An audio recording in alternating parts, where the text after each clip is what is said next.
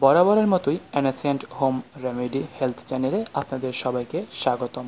আজ আরও একটি হেলথ বিষয়ক ভিডিও নিয়ে আসলাম আপনাদের জন্য। বন্ধুরা, স্কিনে যে গাছটি দেখতে পাচ্ছেন, এই গাছটি দেখুন তো, চিনতে পারেন কি না? অনেক এলাকায় অনেক নামে গাছটিকে ডাকা হয়। এই গাছটি খোঁজার জন্য আমাকে অনেক সংগ্রাম করতে হয়েছে। রীতিমতো বন জঙ্গল চষে ফেলার পর এই গাছটি আমি পেয়েছি। এই গাছটি সৃষ্টিকর্তার একটি অপারদান। যে সকল ভাইরা গোপন জ্বালা যন্ত্রণায় ভুগছেন, কিন্তু কারও কাছে প্রকাশ করতে পারছেন না বা অনেক টাকা খরচ করেও সঠিক সমাধান পাননি, তাদের জন্য আমাদের আজকের ভিডিওটি। আপনারা স্কিনে গাছটি দেখতে পাচ্ছেন। এই গাছটির গায়ে সামান্য কাঁটাযুক্ত খুব হালকা পরিমাণ কাটা রয়েছে এর গায়ে। আপনারা মোটামুটি পাঁচ থেকে দশটি পাতা ছিঁড়বেন এবং সারা রাত সেই পাতাটি ভিজিয়ে রেখে সকালে তার রস খাবেন। যদি সাত থেকে পনেরো দিন আপনারা কন্টিনিউ করতে পারেন, তাহলে আপনারা হয়ে উঠবেন পাগলা ঘোড়ার মতো। আপনারা আর থামতেই চাইবেন না।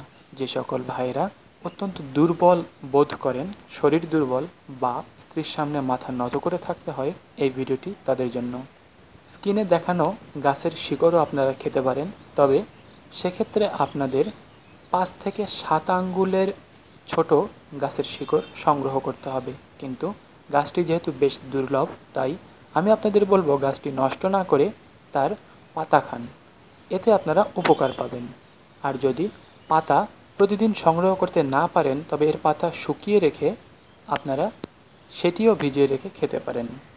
এর পনেরো থেকে বিশটি পাতা শুকনা করে গুঁড়া করে আপনারা বোতলে সংরক্ষণ করবেন এবং প্রতিদিন রাতে ভিজিয়ে রেখে সকালে এক চা চামচ মধু এবং এক চা চামচ কালিজিরার তেল একসাথে মিক্স করে এই পাতার গুঁড়াটি মিক্স করে তারপর খাবেন।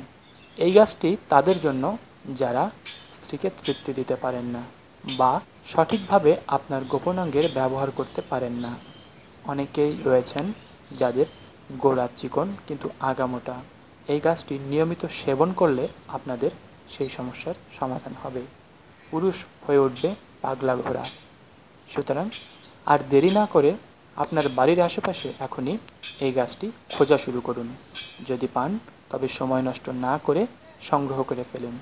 এই গাছটি অমূল্য। এটিকে বলা হয় ন্যাচারাল ভায়াগ্রা।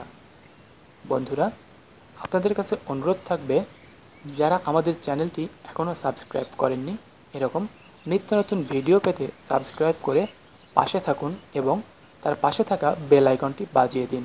বন্ধুরা, আপনাদের সুবিধার জন্য গাছটি আমি আরেকটি জুম করে দেখাচ্ছি। দেখুন, এবং যদি আপনাদের উপকার হয়, তাহলে কমেন্ট করে জানাতে ভুলবেন না। বন্ধুরা, এই ভিডিওটি শুধুমাত্র গোপন রোগে যারা ভুগছেন, তাদের উদ্দেশ্যেই নির্মিত। ভালো থাকবেন, ধন্যবাদ।